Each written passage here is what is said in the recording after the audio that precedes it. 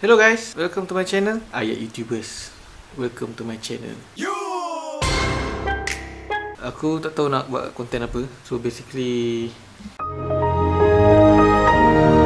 Maybe ramai yang tanya Kenapa aku buat YouTube channel sendiri? Aku dah lama nak buat YouTube channel Dan aku dulu tak pernah ada equipment Dulu aku tak pernah ada proper bla bla bla bla But Bila tua, bila ada duit Aku tahu aku sedar kau tak perlu nak duit pun nak buat benda ni. Tu kalau kau nak start kau start je. Tak perlu nak tunggu apa-apa whatever so ada korang yang selalu anggap aku macam wah Haikal kelakar Haikal cringe lah Haikal Haikal tu Haikal ni lah. Sebenarnya aku macam ni je tu.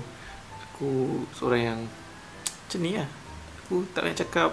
Aku bila aku seorang-seorang macam ni my own space bukan bilik aku pun aku tak nak cakap apa.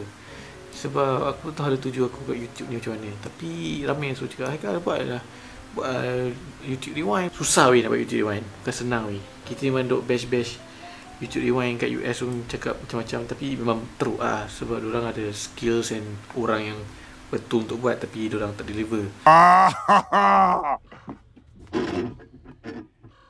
Oh, that's hot. That's hot. Tapi bila korang suruh aku buat YouTube Rewind Aku memang nak buat. Tapi aku rasa aku tak layak nak buat. Sebab apa? Sebab Satu, aku dah lama tak tahu benda-benda viral kat Malaysia. Yang kedua, aku tak ada idea nak kalau aku contohlah aku diberi 1 juta untuk buat YouTube di Malaysia, aku tahu aku nak tak apa sebab aku nak buat research dan bila aku tengok Gene Hackman punya 2018 wrap up Luis Suarez had his greetings mixed up. Tell him reality show judges kick rocks. Cause there ain't no such thing as crispy rendang. Wouldn't have it pagi tengah hari ataupun petang aku rasa macam shit banyak benda aku tahu dalam tu. Banyak benda reference yang aku tahu. Hampir 40 40% aku tak tahu. So aku rasa agak bodoh lah. Aku rasa macam bodoh. Apa, benda yang apa, banyak benda lah yang uh, reference yang dia buat dia bawa keluar dalam video tu ya aku tak faham. Which is kind of sad. Sebab aku duduk buat terlalah orang duduk aku cakap aku pandai pasal benda yang viral benda tu. Tapi sebenarnya basically aku tak tahu semua. Aku just pick up apa yang aku nak tahu je sebab aku rasa sebab umur aku dah 28 Kau nak beritahu pasal semua benda asal kan. Yang banyak, banyak lost in touch dengan benda viral tu. Tapi apa pun kalau kau suruh cakap aku buat YouTube Rewind Kalau contoh aku ada capable untuk buat YouTube Rewind. Aku rasa takut aku aku tak fair to all YouTubers yang bekerja keras pada tahun 2018 Naikkan subscriber orang.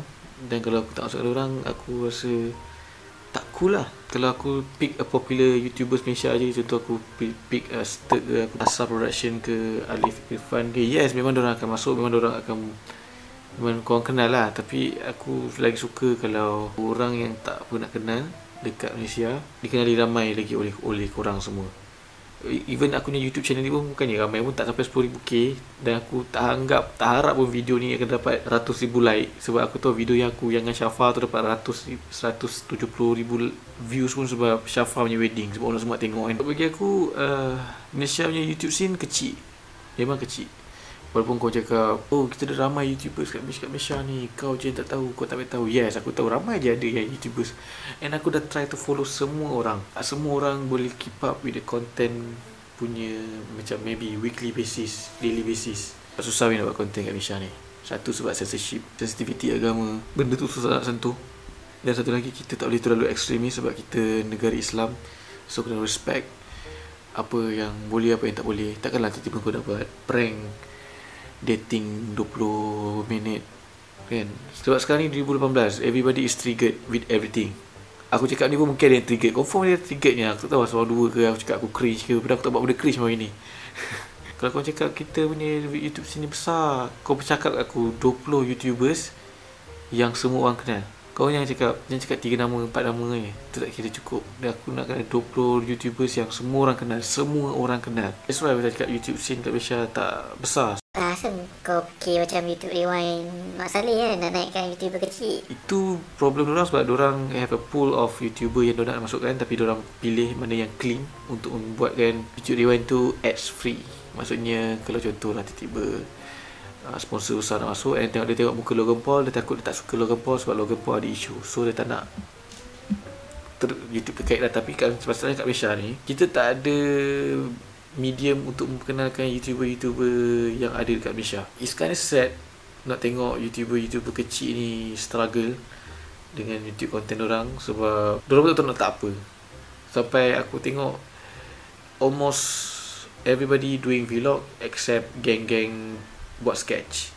Macam Asar semua tu lah Sturk semua-semua. Yang lain Try to be that way Tapi You have Kau kena ada team lah. Kalau macam Asar production Aku rasa dia dah buat Making money by ads. Kerengga aku rasa. Alif Irfan dan juga Syami Memang dah maintain. Dah kaya pun Dah buat kita besar-besar semua. Hasil duit YouTube dan juga Duit sponsor. So, Aku rasa Aku macam maybe every week Aku akan cuba Promote one channel And aku akan buat Deep inside the channel Untuk orang Tahu lah pasal channel ni. Walaupun aku rasa aku tak lah. Takkan nak in depth Gila babi lah kalau aku dapat contact dia Call dia lagi best lah. So target aku lah Untuk naikkan YouTuber kecil-kecil macam ni. Walaupun aku kan nama besar pun Aku orang tak kenal sangat pun. Sebut nama pun Kalau aku pergi mall pun Aku kenal pun kan. It's like a social responsibility. Bila aku kat Tinker Bila aku dah join Tinker Aku buat content And bila kita dah big Aku appreciate dekat YouTube content creator yang start daripada zero with nothing and start to build up their brands aku rasa macam it's not fair to them juga. Sebab walaupun dia cuba untuk buat content yang best untuk korang untuk masuk korang tapi orang tak dapat views yang they deserve because of YouTube algorithm and stuff. Kau akan nampak aku macam awkward sebab ini first time aku bercakap depan kamera seorang-seorang dalam bilik. Sebab sebelum ni aku shoot seorang lah ada band So aku ada interaction kalau buat lawak joke ke apa aku akan refer. Tapi kali ni kalau aku buat lawak hamba memang Hamba teruk Maybe next content aku akan buat macam news kot. Reacting to TikTok ke. Kalau kau rasa kau ada benda yang kau rasa aku patut buat kat, kat, kat channel ni Kau boleh tulis kat bawah. Aku pun kinda lost aku nak buat apa. Aku bukan orang yang kreatif gila babi. Kau mengharapkan aku kreatif Buat lawak. No no. Aku bukan pelawak. Aku I'm not comedian. I'm not even some level dengan comedian. Aku duduk dengan Amir Raja Lawak pun aku rasa dia lagi lawak daripada aku. Itu benda yang facts Aku rasa Amir Raja Lawak lagi lawak daripada aku. Kalau apa-apa kau komen kat bawah. Uh, Kalau sound tak dengar sorry Aku pakai Rode mic je. Not even Rode mic pun Aku rasa brand apa pun tak bawah Nah kau komen je lah bawah. Aku dah malas lah. Ciao lah